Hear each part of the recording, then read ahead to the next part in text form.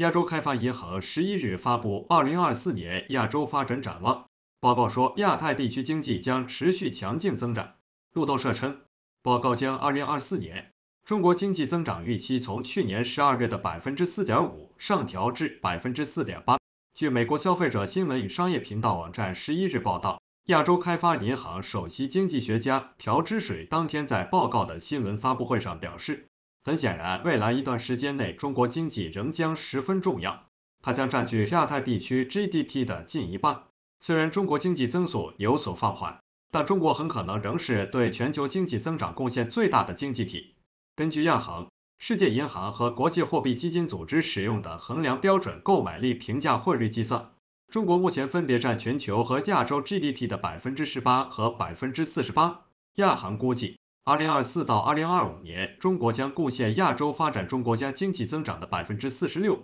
在二零二四年亚洲发展展望中，亚行预测印度经济在二零二四年和二零二五年将分别实现百分之七和百分之七点二的增速。朴之水通过电子邮件告诉 CNBC，尽管印度经济是一个亮点，但它的规模仍然小于中国。按购买力平价汇率计算，中国经济仍是印度的二点五倍左右。因此，根据这一基准，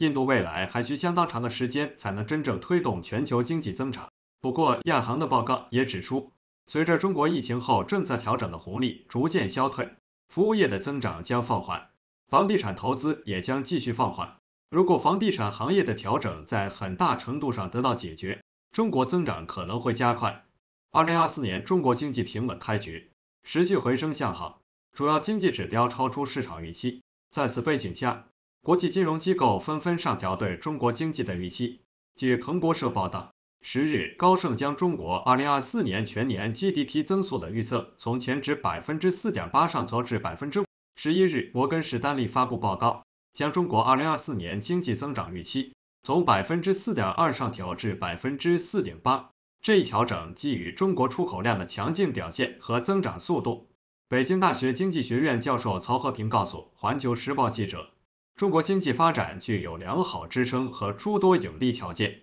今年以来，宏观经济政策持续发力，工业生产、进出口、社会消费等主要经济指标的表现均指向经济继续回升向好，这为中国持续推进高质量发展、实现全年百分之五左右的增长目标奠定了坚实基础。也正是基于这种判断。”多家国际机构上修了对中国今年经济增长的预期。